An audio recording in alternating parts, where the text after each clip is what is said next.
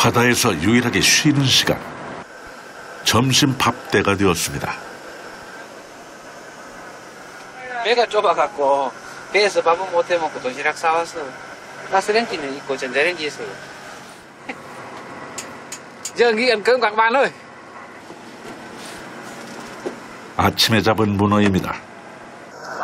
내장 빼고 잘 손질해서 숙회로 먹을 참인데요. 사람 수에 비해 문어가 제법 크네요. 문어 비싸. 비싸 지금 맛있어요. 키로 5만 원. 키로 5만 원은 이거 한 마리 10만 원. 1kg짜리가 뭐야? 그게 인디노로 1.7kg다. 너 괜찮나? 내가 내가 야 이거 크다 크다 이랬거든. 그러니까 뭐든 예전부터 딱 보더라고.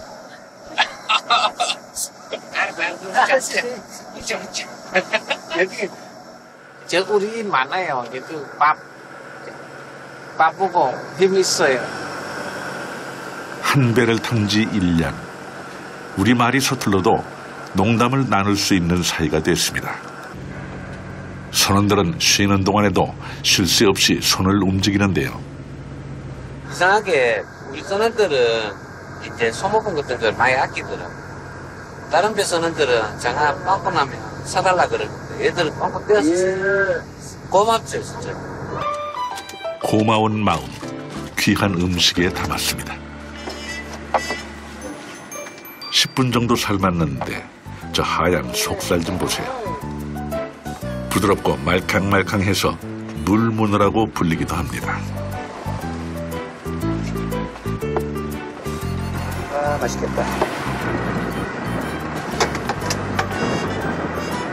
문어는 머리 부분이 제일 맛있어요. 제일 부드럽고 제일 맛있어요. 개더 있어야 되겠는데 많다. 그냥 먹어도 돼요. 간도 맞고 살아 맛있어.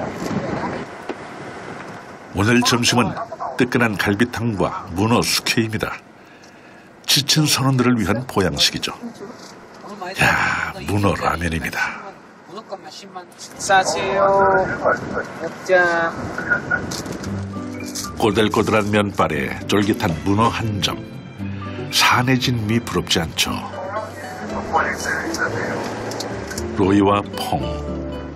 1년 전부터 함께 배를 탄 순박하고 성실한 뱃꾼입니다. 맛있어요.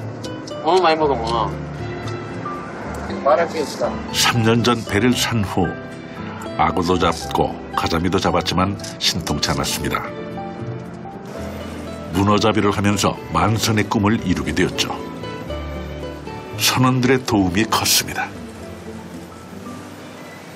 ơi anh đang nhớ em nhiều lắm chắc hôm nay ghi ngày Tết đến rồi nhớ nhà nhớ vợ nhớ con nhớ quê hương đồng bào còn như so với cái đồng tiền mà một tháng ở Việt Nam mà người Việt Nam mà tháng một tháng được 2 triệu thì 2 triệu thì không đủ ăn cho nên phải kiếm tiền ở Hàn Quốc kiếm về thì người trẻ thì ờ, xây, xây dựng kiếm cái nhà cái cửa mà các cái chủ phương tiện đó thì họ có thể làm ờ, lên được cái lên nhà lên cửa 늦은 나이에 결혼한 정 선장. 돌쟁이 딸이 있습니다. 가온아 가온아 아빠 먹고 싶어요? 에, 에, 마마 먹었다고? 아빠 문어 많이 잡아갈게 빠빠 이 빠빠이 어차피 지도 잘 이제 조금 나은 환경에서 살려면 누군가 대가를 치러야 되니까 내가 대가 이제 지가 좀 잘 살 수 있는 방향으로 만들어줘야지 내 자식은 장잘하고 고요한 인생을 살았으면 좋겠습니다. 그 애틋한 바람을 품고 아버지는 오늘도 경랑의 바다를 누빕니다.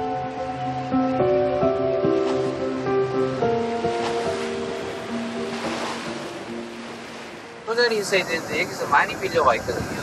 조금 더 밀린 것 같은데 뭐 사고가 났는지 안 났는지 땡겨봐야. 한 달 전 투망한 자리가 아닙니다. 너희야 그거 있어야 있었는데 여기 있어야 될 게 아니다. 통발을 매단 줄이 끊어졌습니다. lời 다른 날 lời 아, 자세해야 됩니다. 머리 아픕니다. 이상하다 그랬잖아요. 잘렸어. 부피 없으면 이렇게 이제 갈고리 이제 조세라고 하거든요. 그거 넣어갖고 건져 올려. 만약 건져 올리지 못하면 통발값의 문어까지 수천만 원의 손해를 입습니다. 오케이.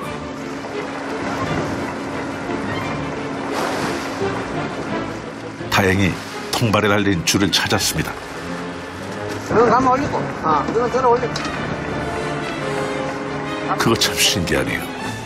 보이지 않는 바다 속에서 어떻게 통발을 찾았을까요? 정호영 선장의 경험과 실력이 빛을 발합니다.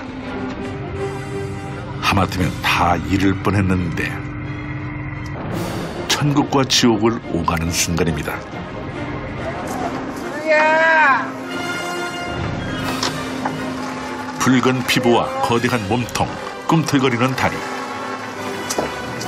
서양에선 기괴한 모습 때문에 악마의 물고기로 부른다죠. 반면 일본과 우리나라를 비롯해 아시아권에선 귀한 대접을 받습니다.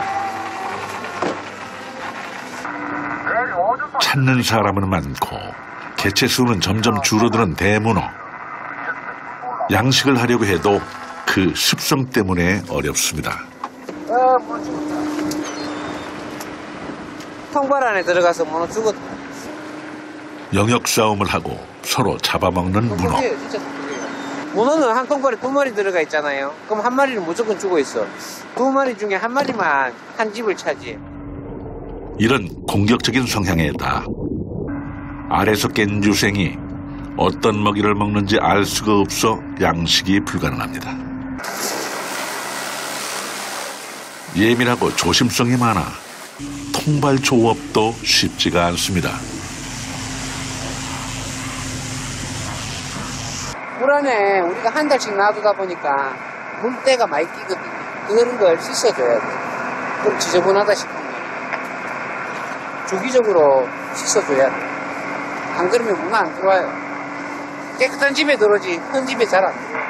여기야, 여기야 방구, 방구 있어요. 여기는 문어 안 나, 나와요.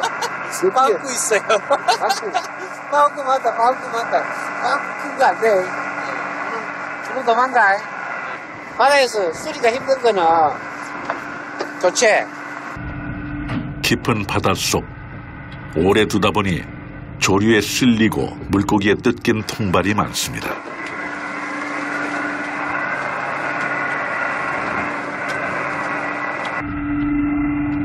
좀 더 큰 배로 바꾸고 싶어도 통발값이 비싸 엄두를 못 낸답니다.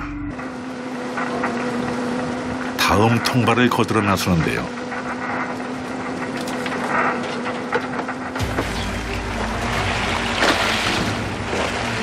바다가 심상치 않습니다.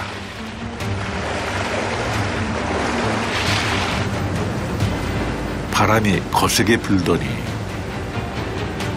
급기야 물결이 일고 너울이 칩니다.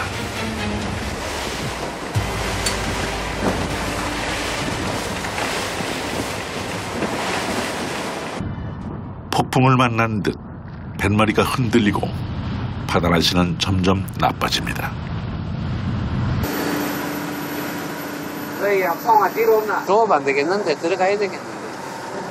애들 다치겠다. 아직 날이 밝은데 결국 항구로 돌아갑니다. 가늠하기 힘들고 또 싸워서 이길 수 없는 게 바다니까요. 항상 겁나죠.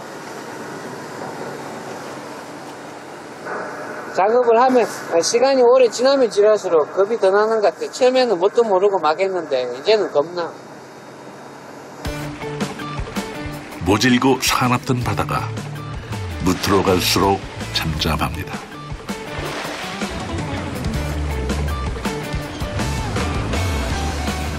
거울처럼 맑고 잔잔한 항구로 들어서는데요. 사랑하는 가족이 있는 곳, 그 편안한 품에 안깁니다.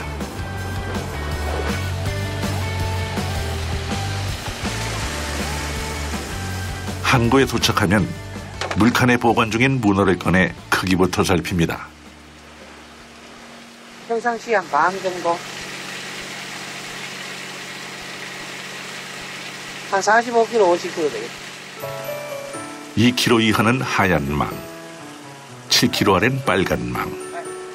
그 이상은 검은 망에 넣어 다음날 새벽 죽도 위판장으로 보냅니다. 간포항도 경매를 하지만 동해안 문어가 다 모인다는 죽도 시장을 가야 제값을 받기 때문이죠.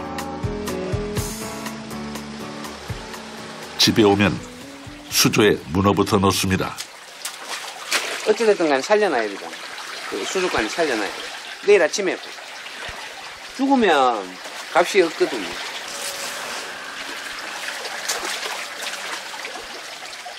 아빠 왔네. 응, 아빠 보고 싶었어.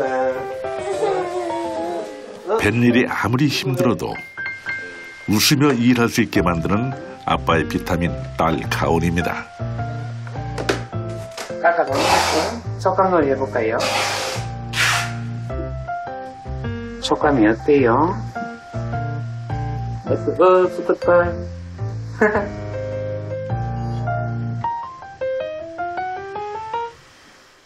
호기심 많은 아이의 눈이 반짝입니다.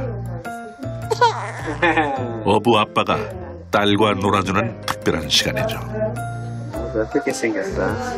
어떤 분이 문한 마리 사가면서 애기 촉감놀이 시키고 그 다음에 자기가 먹는다 그랬어. 그래서 나도 한번 해봤어. 문어 많이 잡으셔야 되겠는데. 예, 음, 많이 잡아야지.